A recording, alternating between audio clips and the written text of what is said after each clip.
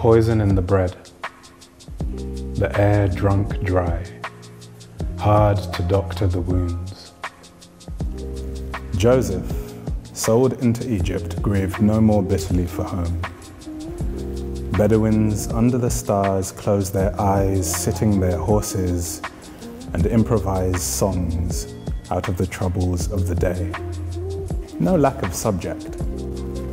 One lost a quiver in the sand, one bartered away a stallion. The mist of events drifts away. And if the song is sung truly, from the whole heart, everything at last vanishes. Nothing is left but space, the stars, the singer.